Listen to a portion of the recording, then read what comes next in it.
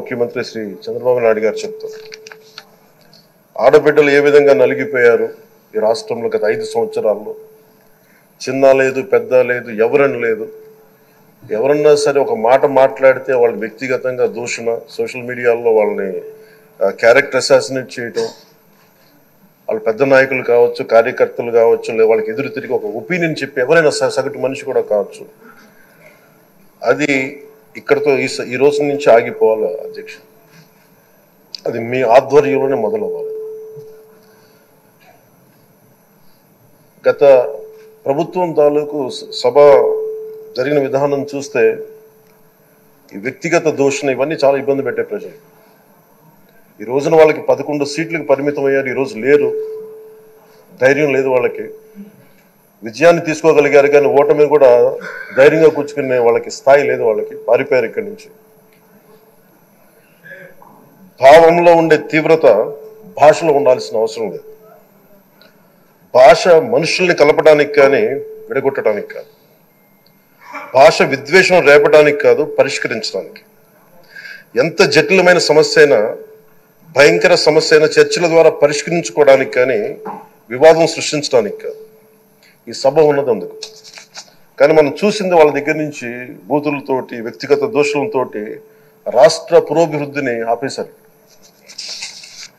అలాంటి సభ కాకుండా ఇందాక మన పెద్దలు శ్రీ గౌరవ ముఖ్యమంత్రి చంద్రబాబు గారు చెప్పినట్టుగా ఇది భవిష్యత్తుకి ఇది ఒక ప్రమాణిక ఒక ప్రమాణం అవ్వాలి. రెండు వేల నలభై ఏడు వరకు ఇంత అద్భుతమైన స్థానంలో మనకి ఆంధ్రప్రదేశ్ తెలుగు జాతి అత్యున్నత ఉన్నత స్థాయికి వెళ్ళాలంటే ఈరోజు మనం వేసే ప్రతి అడుగు అది భవిష్యత్ తరాలకు ఒక నిర్దేశక ఒక ఒక టచ్ స్టోన్గా ఉండిపోవాలి గిట్ రాయిగా ఉండిపోవాలి ఈ నీ సభలో ఉన్న గౌరవ సభ్యులందరూ చట్టాలు చేయ చేయడానికి ఉన్నారు చట్టాలు ఉల్లంఘించడానికి కాదు. విభేదించడం అంటే ద్వేషించడం కాదు. వాదించడం అంటే కొట్టు కొట్టుకోవడం కాదు. ఇవన్నీ విభేదించడం వాదించడం ఇవన్నీ ప్రజాస్వామ్యానికి చాలా మౌలికమైన పునాదులు. ఆంధ్రప్రదేశ్ ఆవిర్భావం జరిగి అసలు ఆవిర్భావం అసలు భాషా ప్రయుక్త రాష్ట్రాల ఆవిర్భావమే మన ఆంధ్ర రాజ్యంతో మొదలైంది. అమరజీవి పొట్టి శ్రీరాములు గారి బలిదానం మీద మన రాష్ట్రం పుట్టింది.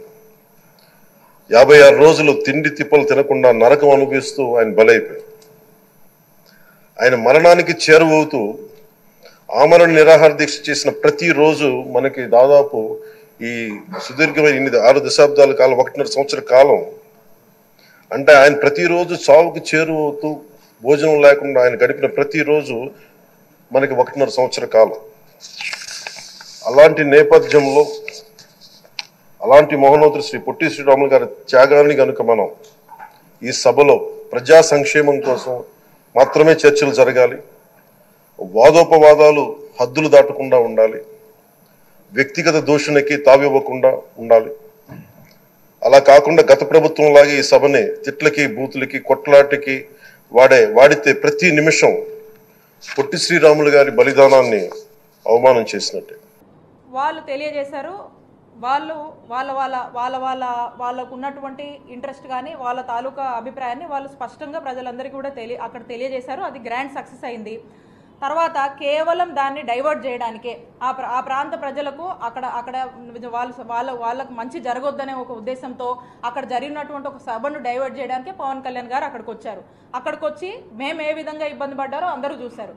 అయితే వీళ్ళు అక్కడ నుంచి వచ్చి అక్కడ నుంచి వచ్చి అది సక్సెస్ని ఓర్వలేక అక్కడ నుంచి వచ్చి ఇక్కడ ఈయన ఈయనకి ఈయనకి ఏం జరగకపోయినా అక్కడ ఇబ్బంది పడ్డది మేము మేము మంత్రులం మేము ఇబ్బంది పడితే ఈయన ఇక్కడికి వచ్చి పవన్ కళ్యాణ్ గారు ఇక్కడికి వచ్చి ఇక ఏదో జరిగిపోయినట్టు ఏదేదో ఏదేదో ఏది పడితే అది మాట్లాడతాడు. అది మాట్లాడడం కరెక్ట్ అని మీరు సమర్థిస్తున్నారా? ఆ- ఆ- ఆ ధోరణి కరెక్ట్ అని మీరు సమర్థిస్తున్నారా? అది కరెక్ట్ ధోరణ? ప్రజాస్వామ్యంలో ఎంతవరకు కరెక్ట్ అది? అలా ఆయన మాట్లాడు ఆయనకి చంద్రబాబు నాయుడు పవన్ కళ్యాణ్ ఒకటన్న విషయం ఎప్పుడు మాకు తెలుసు. ముసుగు తీసి బయటకు వచ్చారు ఓకే ఫైన్ మేము కాదంటలేదు వాళ్ళు వాళ్ళు తీసినా తీయకపోయినా వాళ్ళిద్దరు ఒకటే. మా నాయకుడు చెప్పాడు మా మేమందరం కూడా చెప్పాము మేము ఎన్నోసార్లు మాట్లాడాము. వాళ్ళిద్దరు ఒకటే. వాళ్ళు వాళ్ళు వచ్చి వాళ్ళు వాళ్ళు ప్రజాస్వామ్య పరిరక్షణ అని వాళ్ళు వాళ్ళు మాట్లాడే మాటలు వాళ్ళు వాళ్ళు వాళ్ళు మాట్లాడుతున్నటువంటి తీరు వాళ్ళు యూజ్ చేస్తున్నటువంటి లాంగ్వేజ్ ఎంతవరకు కరెక్టు? వాళ్ళు వాడుతూ ఇక వాళ్ళు ఏం మెసేజ్ ఇస్తారు? వాళ్ళు ఏం చేస్తారు? వాళ్ళు విశాఖపట్న ఆపైంది కాబట్టి నన్ను ఆపారు నన్ను దానికి దాడి చేసిన వాళ్ళు మా వాళ్ళు మీరు చెప్పండి విశాఖ గర్జన ఫ్లాప్ అయిందా? మీరు చెప్పండి మీకు అనిపించిందా. మీరు చూసినప్పుడు మాట్లాడాలి మరి. మీరు మీరు చూసిన వాళ్ళని అడగండి. ఇక్కడ ఇక్కడ ఉందా సరే మీరు రోజు అండ్ మీరు చెప్పండి విశాఖ గర్జన ఫ్లాపా? అంత వర్షంలో నేను నడిచాను నేను వెళ్ళాను అక్కడ. నేను కూడా వెళ్ళాను. నేను పార్టిసిపేట్ నేనేమో ఆడియన్స్ని కాదు నేను పార్టిసిపేట్ చేశాను. మేము మా ప్రభుత్వ ప్రభుత్వం తాలూకా ఆలోచన మేము చెప్పాము. మేము ఏం చెప్పాము? అందరూ బాగుండాలి అందులో అమరావతి ఉండాలి గుంటూరు జిల్లాకు చెందినటువంటి వ్యక్తిగా నేను కోరుకుంటున్నాను నేను చెప్పాను. అక్కడ ఏం చెప్పారు? వైజాగ్ ఎగ్జిక్యూటివ్ క్యాపిటల్ కావాలని వాళ్ళు చెప్పారు. అంత వర్షంలో కూడా అన్ని రకాల వాళ్ళు వైఎస్ఆర్ కాంగ్రెస్ పార్టీ జేఏసీ పిలుపు మేరకు మద్దతు ఇచ్చింది. అక్కడ అన్ని వర్గాలు ఎంతో మంది మేధావులు వచ్చారు స్టూడెంట్స్ వచ్చారు రకరకాల వాళ్ళందరూ వచ్చారు. అందరూ అందరూ నాన్ పొలిటికల్గా చాలామంది చాలామంది సంఘాలు వచ్చినాయి. వాళ్ళందరూ ఏం చెప్పారు? మాకు మా ప్రాంతాన్ని వెనుకబడిన మా ప్రాంతానికి డెవలప్మెంట్ కావాలి మేము మద్దతు ఇస్తున్నాం కోరుకుంటున్నామని చెప్పారు. అంత భారీ వర్షాన్ని కూడా లెక్క చేయకుండా వాళ్ళు వెళ్తే ఇది చూడలేక ఓర్వలేక వాళ్ళు చేస్తున్నటువంటి కామెంట్స్ ఆయనకు చదువు రాకపోతే సిఐడి ఆఫీస్కి వెళ్ళి కొంచెం భూతార్థం పెట్టుకొని ఎతికి చూసుకోమనండి. కనిపించకపోతే. అలాగే స్కిల్ డెవలప్మెంట్ స్కామ్ జరిగింది కానీ చంద్రబాబు నాయుడు దాంతో సంబంధం లేదంట. మరి ఐదేళ్ళు సీఎంగా ఉన్నది చంద్రబాబు నాయుడు. కేబినెట్లో జీవో ఇచ్చింది సీమెన్స్కి మరి డిజైన్ టెక్ ఎక్కడి నుంచి వచ్చింది? సీమెన్ వాళ్ళకి డబ్బు లేకుండా సీమెన్ వాళ్ళు డబ్బు పెట్టకుండా ప్రభుత్వ డబ్బుని బలవంతంగా ఏ విధంగా డిజైన్ టెక్ నువ్వు ఇప్పించావని అప్పుడున్న సిఎస్ అలాగే కృష్ణారావు గారు అలాగే ఫైనాన్స్ సెక్రటరీ రమేష్ గారు ఆ నోట్ ఫైల్లో క్లియర్గా సర్క్యులేషన్ ఫైల్లో రాసింది. చూడలేదా? చదవటం రాదా పవన్ కళ్యాణ్? ఆ డబ్బుని ఎలా డిజైన్ టెక్ దోచేసి వేరే వేరే అకౌంట్లలో పంపించారో ఈడీ నలుగురి మీద కేసులు పెట్టి డిజైన్ టెక్ ఆస్తుల్ని కూడా దాదాపుగా ముప్పై నాలుగు కోట్ల రూపాయల ఆస్తుల్ని అటాచ్ చేసిన విషయం నీకు తెలీదా అని అడుగుతున్నాను. అలాగే మొన్న ఐటీ నోటీసులు ఇచ్చింది చంద్రబాబు నాయుడు అకౌంట్లలోకి ఎలా ఈ డబ్బులు వచ్చాయని. అది నీకు తెలీదా? బీజేపీలో పొత్తులో ఉన్నానంటవే? మరి అదే బీజేపీ కేంద్ర ప్రభుత్వంలో ఉండగా కేంద్ర ప్రభుత్వంలో ఆధీనంలో ఉన్న ఈడీ కేసులు పెట్టి ఈడీ అటాచ్మెంట్లు తీసుకొని ఐటీ నోటీసులు ఇస్తే బీజేపీ పొత్తులో ఉన్న నువ్వు అటు మోడీ గారినో ఇటు అమిత్ షా గారినో మాట్లాడి చంద్రబాబు నాయుడు పవిత్రుడు తప్పు చేయలేదు స్కిల్ స్కామ్ జరిగింది కానీ ఆయన చేయలేదని చెప్పి విడిపించవచ్చు కదా. అది వదిలేసి జగన్మోహన్ రెడ్డి అక్రమ కేసులు పెట్టాడు జగన్మోహన్ రెడ్డి అక్రమంగా లోపల పెట్టాడు. దీంట్లో జగనన్నకి ఏం సంబంధం? తప్పు చేసింది చంద్రబాబు నాయుడు ప్రజల డబ్బు దోచుకుంది చంద్రబాబు నాయుడు. దాని మీద కేసులు. నోటీసులు ఇచ్చింది ఈడీ నోటీసులు ఇచ్చింది ఐటీ నోటీసులు ఇచ్చింది కేంద్ర ప్రభుత్వం నుంచి. ఈరోజు అరెస్టులు జరుగుతోంది కేంద్ర ప్రభుత్వం ఈడీ వాళ్ళు. ఈరోజు ఈయనది సాక్ష్యాధారాలతో దొరికింది కాబట్టి ఇక్కడ సిఐడి అరెస్ట్ చేయడం జరిగింది. అంతేగాని దీంట్లో కక్ష సాధింపు చర్య ఎక్కడ ఉందో ఒకసారి పవన్ కళ్యాణ్ తెలుసుకోవాలి మాట్లాడే ముందు. నాకు తెలిసి ఈయనకు కూడా ఏమన్నా దాంట్లో ప్యాకేజీ వచ్చిందేమో. ఈయన కూడా అరెస్ట్ అవుతారని ఏమన్నా భయం వచ్చి ఈ విధంగా మాట్లాడుతున్నాడేమో నాకు అర్థం కావట్లేదు కానీ ఖచ్చితంగా చంద్రబాబు నాయుడు ప్రభుత్వాన్ని కూడా క్యాబినెట్లో లో ఉన్న మంత్రుల్ని కూడా మోసం చేసి ఆయన సెపరేట్గా ఏ విధంగా ఈ డబ్బు దోచుకున్నాడో ఆ పార్టీలో అందరికీ తెలుసు కాబట్టి ఎవరు మాట్లాడట్లా. అచ్చెన్నాయుడు ఎందుకు మాట్లాడుతున్నాడు అంటే చంద్రబాబు నాయుడు పదమూడు సంతకాలు చేస్తే స్కిల్ డెవలప్మెంట్ స్కామ్లో ఆయన ఐదు సంతకాలు పెట్టాడు. ఆయన ప్యాకేజ్ ఆయన తీసుకున్నాడు కాబట్టి ఈ రోజు బయటపడటానికి ఆయన వాగుతున్నాడే తప్ప ఈరోజు తెలుగుదేశం పార్టీలో ఈ మహామహులంతా ఉన్నా ఎందుకు మాట్లాడలేదో పవన్ కళ్యాణ్ తెలుసుకోవాలి. ఎందుకంటే మాకేం పర్సనల్ గొడవలు లేదు పర్సనల్ కోపతాపాలు లేదు అంటావు. ఒక్కసారి రెండు వేల పద్నాలుగులో నువ్వు మాట్లాడిన మాటలు వీడియోలు తెప్పించుకో. ఇదే తెలుగుదేశం పార్టీకి సిగ్గు మానం లజ్జ ఉందా?